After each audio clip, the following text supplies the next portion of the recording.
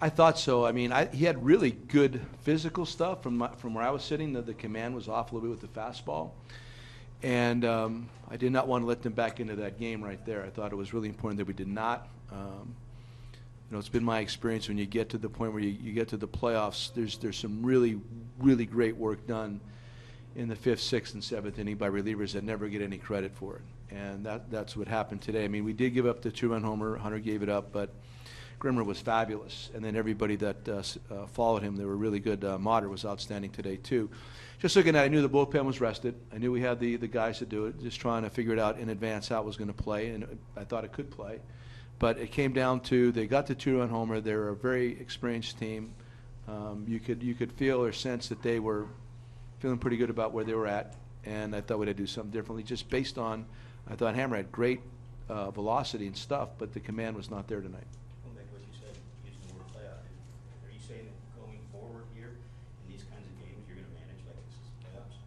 Um, I, I don't believe I do it every night, but, um, you know, more, more so right now, I think as we're getting to this particular juncture of the season, um, you don't want to just give anything away, especially when you have a lead like that. I mean, that's, that's part of it. I mean, it's, it's, a- that was just that game, It was August sixth, the way the game was playing tonight. Um, you get off to such a quick lead like that, to relinquish that and lose that game is a very difficult loss, and especially to this particular team right now. So I just thought, um, we did not want to let it slip away tonight.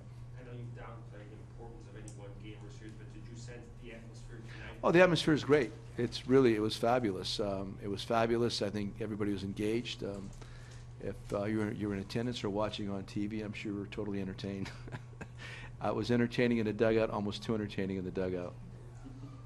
Did- Now, did you make a conscious effort to get everybody in the game? Because you did.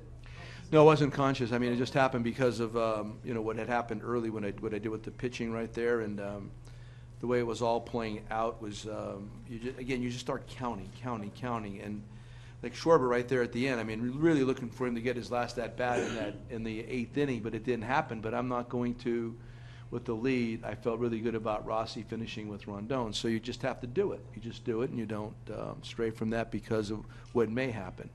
What is happening is that you have the lead, Ronnie's rested.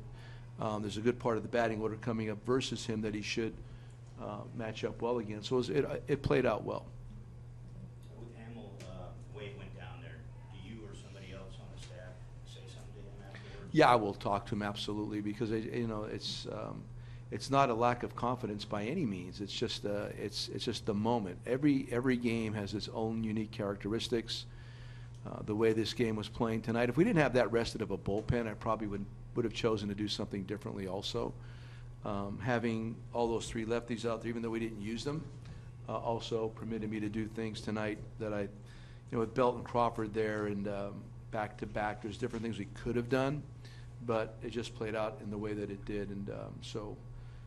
Richard being in the bullpen with the length, Woody with length, Russell actually, there was there was reasons why I felt we could do things tonight. What do you mean by almost too interesting dugout guys? A little crazy in there? or Oh no, I'm just you know the the fact that the game was uh, it was it was tight, it was intense, yeah, it was great. Guys were into it? Oh, totally, it was beautiful, man. That's what it's supposed to feel like. That's what it's supposed to look like. That's what everybody's looking for. Um, I love that kind of a moment. I think it's great, and I want our guys to embrace it also. What about across the dugout when you're managing against the, one of the best guys? Yeah, I know. I've known Boch since the '80s, man. I mean, uh, when he was managing in Riverside, I was a roving instructor the night that Jose Valentin beat Palm Springs with a home run down the right field line. He was the manager of uh, uh, Riverside, um, so I've seen him for a long. I know how good he is. He's a great guy. He's not a good guy. He's a great guy. My son did a photography shoot with him a couple years ago in, in Phoenix. He treated Joey like gold, man. It was great. So I have nothing but great respect for him. But you get going, knowing you're managing against one of the best teams and the best managers. Yeah, I mean, it's just, um, you know, I, I try, and- I don't think I try to do anything differently. I'm just aware that he's aware. You know, that's the kind of thing. He's definitely aware of what's going on. Um, you can see that by the different things he did with his bullpen tonight. So, um, it's just, um, it's beautiful, man. Joe, curious, you know, we've talked about Kris Bryant seeing really good pitches from Yep. pitchers. I mean, is, is Kyle getting a little bit of pass still from pitchers, or are they, is he getting their, their good pitches? What do you Oh, think? he's, they're working him hard. They're working him hard. The big thing with him, he's not chasing out of the zone right now. And that's why he's, he's doing all that damage. He's getting good counts, and when they throw a pitch that he likes, he's not missing it. The big thing with that is when you, when you work to a good count and you see something you like, you can't take it and you can't foul it off. You have to keep it fair and hit it hard, and that's what he's been doing. Um, can he continue to do it? I think he can.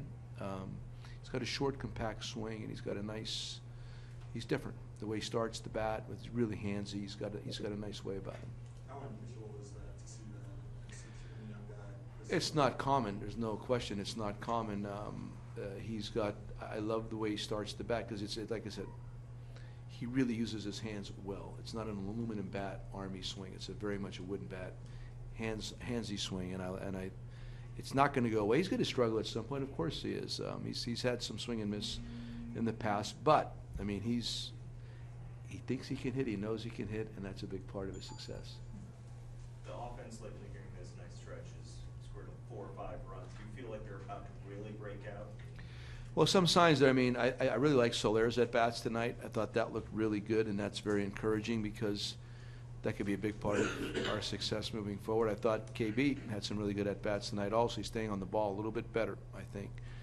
Um, Rizzo continues to stay hot. Uh, Coghlan almost had a, you know, Coghlan and and and, and uh, Pence both probably hit home runs early in that game uh, with different um, atmospheric conditions. So Coghlan continues to swing the bat. Well, there's a lot of good stuff going on there, and uh, but primarily if we get Bryant and Soler back to normal, that'll be huge for us. Addison, Addison also. I mean, outside of that last at bat against Romo has been really good too.